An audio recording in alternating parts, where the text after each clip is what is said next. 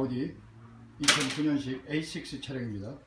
A6 2009년식 차량에 광AUX 인터페이스를 이용하여 음질 전용 블루투스를 장착하는 컨셉으로서 아우디 전용 2G MMI MOST 박스 인터페이스는 4개의 외부 입력이 생성되며 음질 전용 블루투스로 장착하는 advance 블루투스 제품은 홈용을 저희들이 개조 작업하는 내용으로 작업을 하게 되며 음질은 16비트가 내장된 제품이라 음원 구성이 좋고 음질 바란스가 아주 좋은 제품입니다.